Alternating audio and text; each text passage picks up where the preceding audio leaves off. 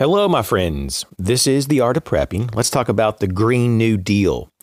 Uh, you know, there's a lot of nonsense out there, and I mean, I just recently kind of started to think about this proposal of the the Green New Deal, and this has been a proposed for a while now. This is nothing new; it's been out for a number of years. Uh, but I just wanted to revisit this because it's such nonsense. It's based on really no science. It's it's like every layer of this concept of the Green New Deal is just socialism repackaged. And so I'm going to do the best I can in a condensed format here to kind of expose some of this uh, the best that I can. So, the Green New Deal. Uh, so, what really is all this? So, there's these people, uh, typically uh, the radical left, that believe that climate change is going on and that we need to reduce and or eliminate fossil fuel usage. And let, us just stop right there. Um, does our petroleum really come from fossil fuels? You know, or fossils, I should say. Does it come from fossils, uh, like dinosaurs and things? Um, so, so right off the bat, they're wrong. It doesn't. This is this has been like a myth for a long time. This is something that the mainstream media has has pushed for a long time. That oh, fossil fuels. Uh, there's even a lot of scientists that get tripped up on all this. But petroleum is not from fossils, not from dinosaurs. Um, it's been well known. If you really look at the scientists that actually study this, is that petroleum is made from aquatic uh, phytoplankton and zooplankton. So basically, biomass, right? And I mean, there's like bacteria and different plants, and these are um, these decaying the the decaying marine organisms with heat and pressure, basically in, in the ocean over time, uh, can create petroleum if it's done in a certain way, right? So that's what really petroleum is. You know, it's, it's not like oh, there's a bunch of dinosaurs down there that, you know, over millions of years, they break down into this this material that we can you know process and use to run our cars um, so there's a lot of bad information out there. And, you know, I was raised to believe, you know, in the schools that I went to that, oh, you know, it's fossil fuels, you know, everything is run off of dinosaur bones and things that have decayed and, and compressed, you know, through time, um, you know, through heat and pressure. At least they got that part right um, with the heat and pressure, but everything else was wrong, right? So, let's move on if we can. Uh, so they say we need to reduce or eliminate the fossil fuel usage, which right there is wrong, to curb planet warming greenhouse gas emissions. What are they talking about there? CO2, the stuff that we exhale. So that's supposed to be the really big boogeyman in the room. This global warming greenhouse gas, this this this trace gas I mean, it's such a small amount. It's so ridiculous. it's just, it's a fraction of a percent that's out there. It's just, it's trace gas. But this is the boogeyman in the room.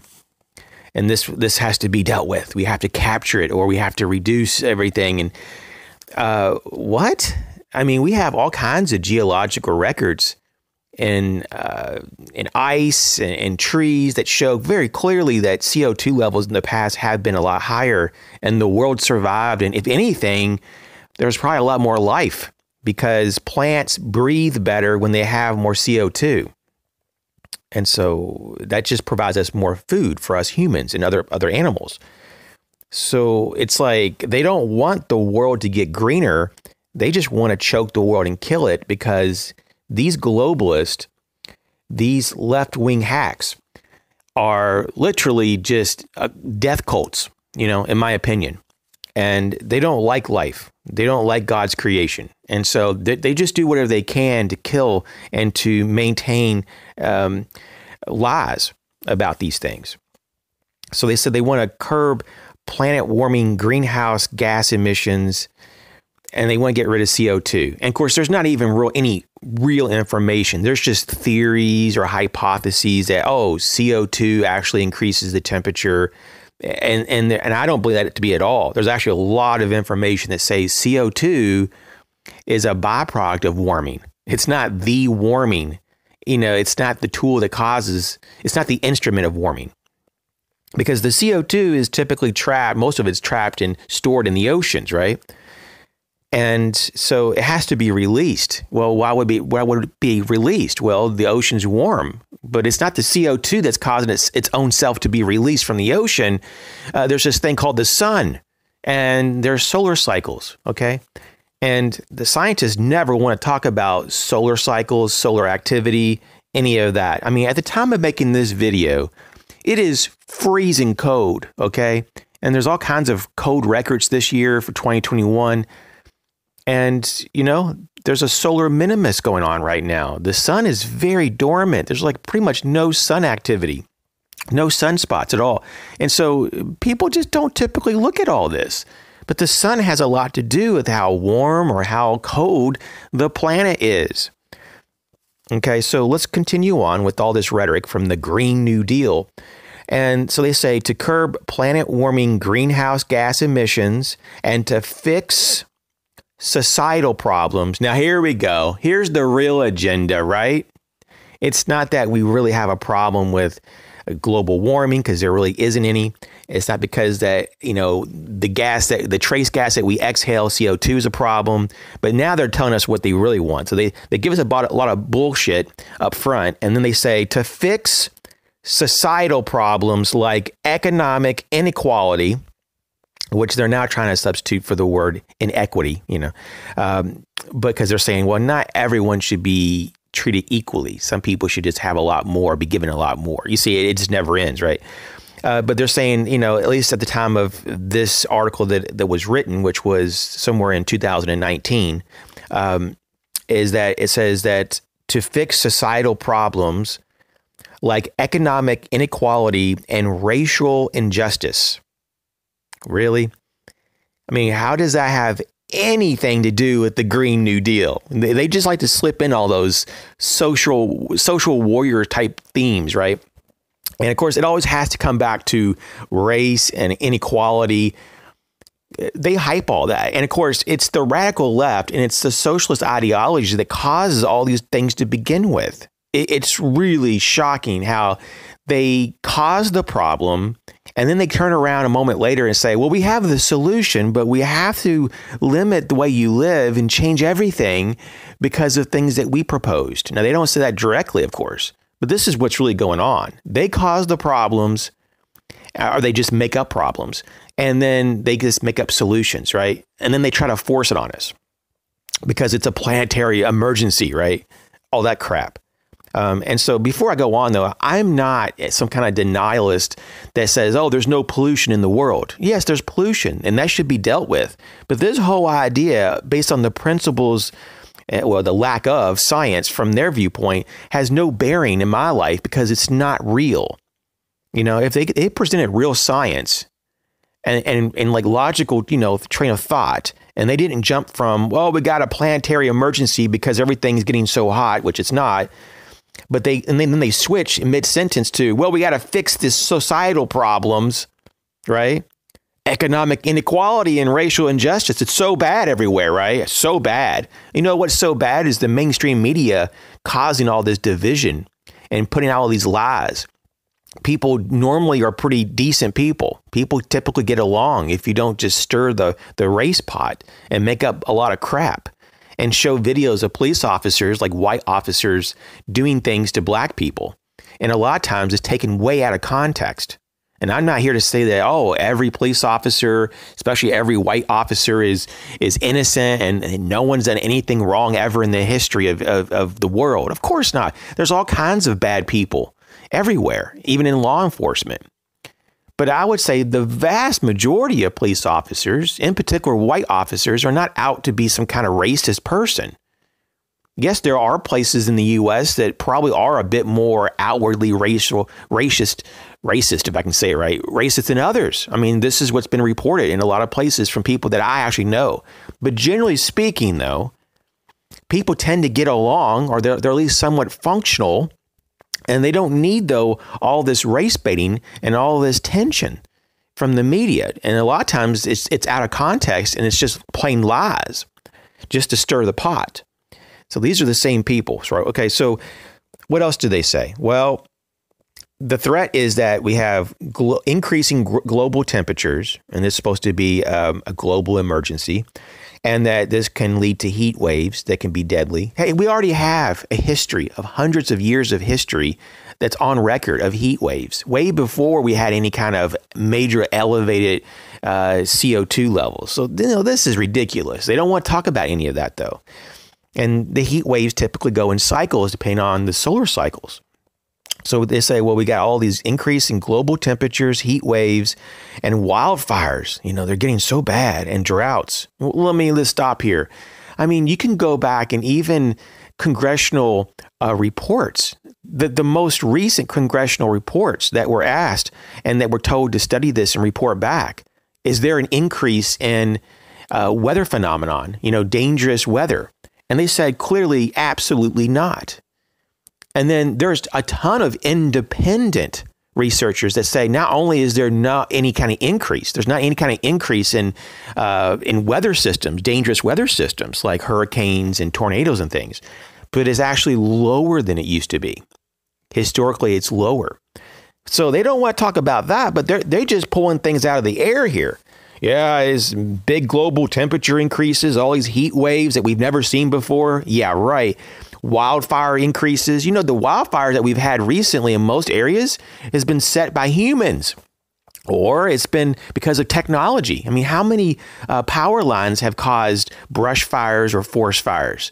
And this is something you've been seeing the last few years in, in California and and the droughts well you might want to talk to those globalists that like to do weather you know engineering modifications and so forth so um, and, and there are some areas that just naturally have droughts for a few years or a decade or so and then that gets changed out. So you know to say that oh it's just because there's too much of this trace gas that it's such a such a small amount of trace gas and and then you look at the science about how you would even measure CO2 especially in the upper atmosphere. And it's so difficult that it's not ever really considered a, an exact science. It's just we don't have the technology to very specifically measure it the way that we would want. We don't even really know what the number, the percent it is.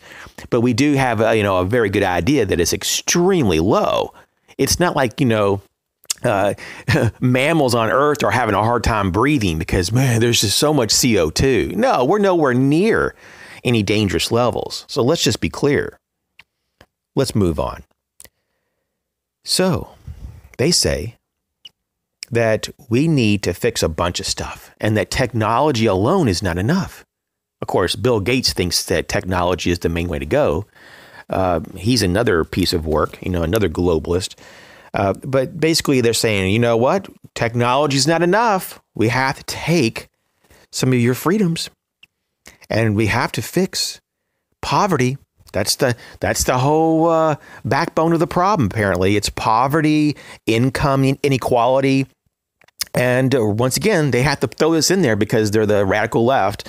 Everything goes back to racial discrimination. You know, so I guess that the CO two uh, is it, they're racist. You know, the CO two, the, the trace gas is racist, and um, yeah, anyone who actually uses any kind of modern technology that puts out CO2, they're they're racist and and so we got to we got to stop that racial discrimination, right? So let's just let's just go through this one more time. Because I mean, this is something that we need to look at because we go from what the title is Green New Deal, and now we're talking about poverty, income inequality, and racial discrimination. So let's just pick those apart. Poverty. Well, why do you think there's poverty? Why do you think there's poverty? Is it a lack of education? Eh, possibly. Is it because of broken homes? Possibly. What could be some causes of that? Maybe because there's so much dependency on government. Maybe there's just a lot of government programs that really have never worked and maybe have done more harm than good. Uh, maybe it's just because the system is rigged, right? To a large degree, to a lot of people.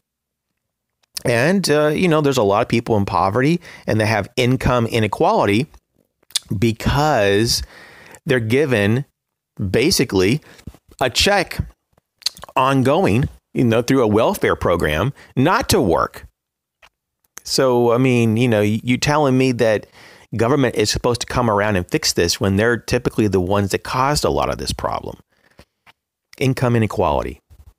You know, you have the Federal Reserve and the U.S. Treasury and, and, and currently the House and the Senate doing things, you know, well, let's just go and, and say that the Congress and the executive branch, that the one we have now with Biden, you know, his administration, what a, what a clown show. They're wanting to pump all this money, right? And if you see where a lot of this is going, it's going to special interest groups, it's going to corporations, I mean, big corporations, and it's going to a lot of people who don't even need any help. And they're just throwing it into the stock market. And so, if you want to talk about inequality, you know, the Treasury and Congress colluding together and working closely with the Fed to manipulate who wins and who loses in this whole rat race is just, I mean, it, it's just about as un American as you can think. And so, if it, so, this Green New Deal is calling for the government to to fix poverty and income inequality and racial discrimination when they're the ones that caused it to the to a large degree. Now, this racial discrimination, though, a lot of this is just pie in the sky stuff. A lot of this is made up. Yes, there are a lot of people who say, "Hey, I really do have a real experience of being, you know, uh, discriminated," uh, but this comes from all all walks of life, and this whole idea of white privilege is it's all made up. This whole, I mean, you can go to college. I mean, hey, I, I've been to college, and I know what the applications were even years ago. Okay, uh, to get grants or scholarships and or uh, just to get a student loan. Okay. And I, as a white person, had a lot more of a limited, this is back in the day. I can only imagine how much more now it's out of whack. That white people had a lot, lot less options, uh, a lot, lot less grants and, and things to apply to. Because guess what? I'm white and I'm supposed to have all this privilege. And this is all bunk. This is, that's discrimination right there. They talk about uh, equality, but then they, they all they do is divide people. This is the radical left, and this is socialism. It's always about, oh, you know, whoever the majority is, they're the evil ones. Well, I'm telling you what, if it wasn't for, you know, uh, you know, business owners, right? And if it wasn't for white business owners, which is makes up the majority of owners in America, then we wouldn't have much of the economy that we would have, right? And I'm not promoting white people over anyone else. I'm just telling you the facts that most people in America are white. Therefore, you would you would see that okay, we have more white businesses. This is not discrimination or inequality. This is just population ratios. And so it's just bizarre that people are like, "Oh, you know, if you're white, you have all these privileges." I mean, I even know someone personally, which I can't hardly even talk to her anymore because she's so ignorant about this. But she just goes along with the groupthink you know, this twisted mentality that, oh, you know, a white person inherently just has all these privileges. She can't even tell me anything that I, I can do that other people can't, though. She can't give me a concrete answer. She's tried to like say, well, if I got pulled over by the police, I wouldn't be as suspicious to them as other people. I mean, that's bullshit, you know. Yes, there are some areas that uh, people are profiled because they typically are the ones that create the most crime but that's pretty obvious as a tool for policing. Uh, but that's not discrimination to have a legitimate profile. Just like if white people in a certain area were committing most crimes, then you would expect that the police would profile white people more because they're the ones causing the most problems, right? And so, I mean, and I mean, when I'm talking about profiling within within the, the limit of the law too, I'm not talking about oh they're they're just accusing people randomly. But you know, if if the problem typically comes from a certain group, then you would uh, want to investigate that group. And so, you know, this so-called friend that I have that likes to kind of talk about all my white privilege, and she's white herself, which is just hilarious. That she thinks that she has all this privilege too, which she doesn't. Um, it's just she just goes and buys into all this. So just be so careful and question all this. And if you could think for the moment that, oh, you're a white person, you have all this privilege, you tell me what the privilege is. Because if anything, I've noticed that I haven't had the same opportunities as a white male, okay, over my lifetime than a lot of other people uh, uh, that are minorities just because they're just not presented. They're just not available. And I'm talking about specific things like college applications, grants, scholarships, and all this. Um, it's pretty amazing how, if anything, white people are discriminated, you know, more so than most of the other groups. And of course, that's not uh, something that the left would admit to um, because they don't live in the real world. So let's get back to the topic here of that these people that are pushing the Green New Deal, they not only think that the government can fix poverty, which they help contribute to, and to help income inequality, which once again, the Congress and, laws that have been passed, uh, mixed in with the U.S. Treasury, uh, mixed in especially with the Federal Reserve, has caused massive income inequality and wealth inequality.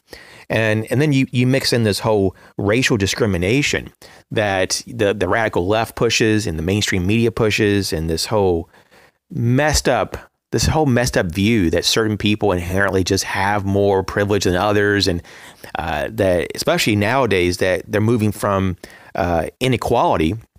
That okay, we shouldn't just treat everyone equal, but now certain people should just get a lot more than others, and that's what they're talking about in terms of of equity. You know that there's all this equity issue. You know, inequity, if you will, and so they're saying, okay, we need to give certain groups of people a lot more. So, for example, if you're a white person and you need help, you need welfare because something happened to you, you, you came across a, a patch of, of rough times, um, maybe they're going to give you $200 a month uh, or whatever for assistance for food.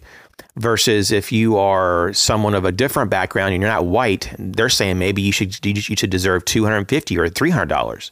You see, uh, and just because they're different than you. And I mean, you know, you talk about uh, causing division among people. I mean, that'll do it right there when people are not treated equal. So I'm all about equal treatment. But the radical left is really moving away from that whole concept and getting to the idea that, oh no, just certain people should be given more. And of course, they think that minorities are just should be the ones that should benefit the most. And it's just so crazy because if the majority of the population is white, then that's the reason why there's more white people and there's more white people doing things. You know, it's just like if you go to Africa, I mean, it's just so ridiculous. You know, the African people, to my knowledge, they don't look at themselves and say, oh, we're the majority, so we must have all this black privilege. You see what I'm saying? And then there's so much evidence that shows that white people in general are not the highest performers in America, for example. I mean, if you look at the high, the highest earners, it's typically Asians. Asians outperform any other group, to my knowledge. So no one's talking about the Asian privilege, you know? And so that's why all this is just made up. The more you dig, and I can talk about this for hours, but it's just so ridiculous. The more you dig, the more you find that it's all contrived and that you have to have a low IQ to even, you know, fall for any of this, right? So if some people that are around you telling you that you have all this white privilege or any privilege, regardless, of what your skin color is, you want to just tell them to shut the hell up, right? And you probably don't want to be friends with them anymore. That's a level of ignorance that can really get a society into trouble. And so, anyways, this video, I don't mean to be vulgar or nothing like that. I, I just feel passionate about the, that this is a ridiculous thing going on. And I've been holding this in for quite a while. And so I just feel like I really need to talk about it. And so I hope you understand where I'm coming from and um, take me the right way. And I do appreciate you know everyone that watches my videos. So let's be let's you know continue here the conversation. So they not only say that oh the government should fix all this, and of course we can't do it through just technology, but they should re-engineer, you know, social engineer how society is to eliminate poverty, income inequality, and racial discrimination but it calls on the federal government to reduce greenhouse gas emissions and create high paying jobs. I mean, they're just piling it on now, right? So we're supposed to just pretty much uh, reduce and eliminate most greenhouse gases and then, of course, they put a date like a 2050. Of course, they're always changing the date, but that's what they have now. So, roughly speaking, in 30 years, we're supposed to have almost zero, or at least net zero, um, neutral emissions, or whatever they call it. Uh, so, they're saying to reduce greenhouse gas emissions, which, once again, let's just call it for what it is CO2. It's the air we're breathing out, right? I mean, it's unbelievable that that's some kind of major threat, which it's not. It's a trace gas and it's not dangerous, but they, they're saying that it is because they don't believe in science and they just make things up. And they said also here that they, we should have uh, the, the, the federal government in particular create, the federal government should create high paying jobs. The federal government can't even balance their own budget. They can't even keep themselves organized. They're a freaking mess. And they're supposed to be like the leader in job creation. I mean, who do you think pays for all those jobs? Taxpayers, you know? And I think even more so now than ever is that it's not even really the taxpayers mm, for the most part, it's just borrowed debt to pay for all this labor because I don't think the tax is enough anymore to pay for all this. And so so we're supposed to have the federal government take I mean, what does this sound like to you? This doesn't sound like a, a, free country, a capitalistic country. This sounds like some kind of a gulag situation coming up. This sounds like, you know, communism, you know, some type of totalitarianism. It's a, a, a state, you know, that is a socialist state, you know, that everything is owned and controlled by the, the government, that they tell you, you know, what you should do and what you can't do. And, but they're supposed to just create these high paying jobs, right? And they're supposed to ensure clean air, clean water, and healthy food. Oh, they do such a great job with that, though. I mean, they, they don't have any problems with GMOs. You know, they don't have any problems with all the pesticide and Monsanto that's been able to thrive for all these years. Of course, it's it's been changed up now. You know, they they call it something different, but it's unbelievable that we're supposed to just trust the the FDA now because yeah they're, they're, they have such a good track record of that all that clean air and clean water oh yeah there's so many places that never had any water problems with lead and all kinds of other uh, poisoning elements of course, you know, I mean, the fluoride they put in our waters and stuff, oh, that's really great, you know, and all the chlorine and oh, that's super healthy. And then we're supposed to just trust them with all the food. Yeah. So, I mean, unbelievable. So, healthy foods, and of course, they say that we should have our basic rights. Our basic rights should have those things. So, we should demand and we should be guaranteed to have clean air, clean water, and healthy food. Well, who's going to enforce that? And, and who are they going to have to punish to make that happen? You see? It's like some people that tell me in the past, we have a we have a right to health care.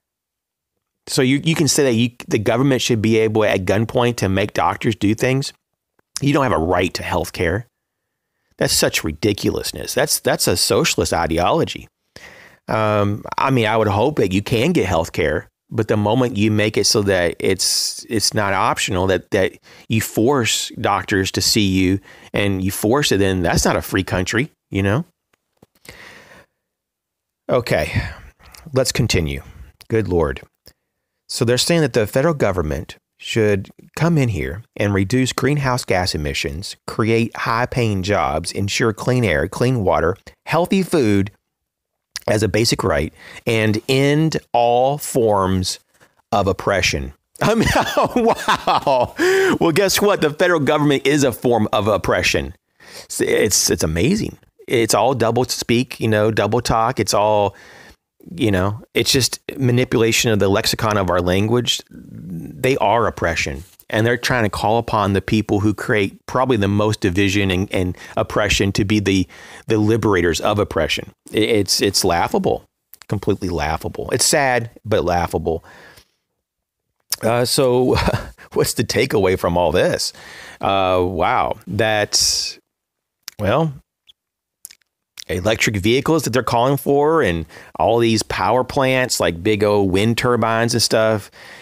In case you haven't noticed, especially like uh, solar panels, uh, they create a very large load on the system. It's very labor intensive.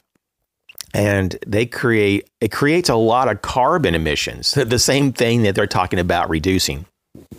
And so um, it's been known for a while, though, and this is just a part of the the ridiculousness of all this. That just let's, let's just take electric vehicles for example. Uh, that electric vehicles um, have a larger carbon footprint uh, than than non electric vehicles. And where do you think all the power is coming from to power these electric vehicles? It mostly is coming from coal plants or power plants that are, uh, you know, nuclear power plants. And you, you, you think that the coal uh, is like you know uh, some kind of super clean source. I mean, they they're doing a lot better with it. It's a lot cleaner than it used to be. So I'll give them that. Uh, but do you think that nuclear fusion and well, the nuclear rods, I should say, not fusion, but the nuclear rods that are used uh, in nuclear power plants, you, you know, they have to store them after a while, you know, and there's all kind of nuclear waste that's produced from nuclear power plants. You think that's all real green? Um, so, I mean, it's it's it's laughable. We don't have the infrastructure uh, just to just get rid of uh, so-called fossil fuels. Once again, you know, fossil fuels. Uh, it's such a lie. Um, so, you know, we we have this this unbelievable setup here uh, to destroy our economy, our way of life, in the name of of basically you know clean clean energy you know uh, uh, fighting the the global climate crisis uh, which is made up and you know and they put this nice little label the green new deal. What are your thoughts about this? I, am not going to be able to speak you know speak much more about this without going crazy. Um, i have some other you know thoughts on this topic but it's so backwards the approach because these people once again they create the problem they come up with a solution that benefits them. It's it's just a social engineering you know type of uh, uh, I guess program that they have in place here, and they're trying to convince people. It's not going very well, right? Because it's not based on science, but uh, they're trying to convince people that all this is true. You know that we we, we really definitely need to stop using all these things and, and we need to transition over to this and that. The problem is that there's the technology hasn't caught up. And um, a lot of these technologies actually produce more of a carbon footprint than the previous technologies. And it's just all very laughable, you know? And so I don't buy into any of this. Uh, you believe what you want, I guess, but don't lie to yourself. You know, I get some people every once in a while that just can't handle what would I say about this kind of topic. That's why I don't talk about it very much because people, first off, don't watch this kind of video uh, for some reason, and then secondly, people get their they get butt hurt about the things that I say. And you know what? I'm at the point now that um, let's just speak the truth and let's move forward and let's go ahead and get rid of this nonsense and people and call people out for what it is. The Green New Deal is a sham. It's just one more step closer to a socialist, you know, economy. And this is going to lead into carbon credits, you know, and taxes and all kind of mandates and limitations. I mean, everybody's going to be like looked at in terms of what's their carbon footprint. And if you just use too much of something, then you'll be taxed extra and penalized. And I mean, it's unbelievable. And it may get to the point though that if you're a white person and you use too much, you know, petroleum, uh, then you get extra tax than if you're a minority. You know, I mean, I wouldn't be surprised. They're going to just do whatever they can to divide the people. And what I would say is this: don't let's not fight among ourselves and get mad with each other. Let's look at the the policymakers and let's get rid of them. These people are scum. These people are globalists. These are not Americans. These these people typically don't represent a lot of times their own nations because the Green New Deal is found in different other countries as well, sometimes packaged in a different way or called something different. But let's get rid of these people. Uh, it's a small group of people, really, that these people um, represent. And so uh, these ideologies are not conducive to a free society. So thanks for checking this video out. Catch you later.